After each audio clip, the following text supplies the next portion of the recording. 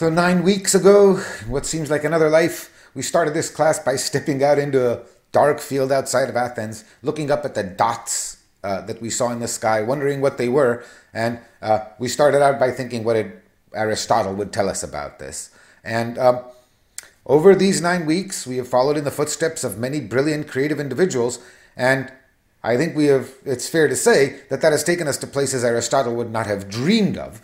Um, I hope that you have enjoyed the ride. It's been intense. I've certainly enjoyed uh, sharing it with you. And uh, I hope my main intent has been to give you a sense of the splendor, the grandeur of this endeavor of trying to understand the universe, why it is so beautiful, why it is so valuable, why it's so much fun, and why it actually makes looking up at the stars even better than it would be otherwise. Uh, like many things in this class, the uh, conjunction of Jupiter and the moon at the beginning of the class was unplanned.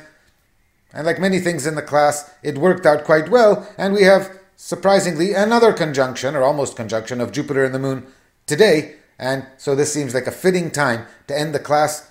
Thank you very much for the time and attention you've paid, put into it.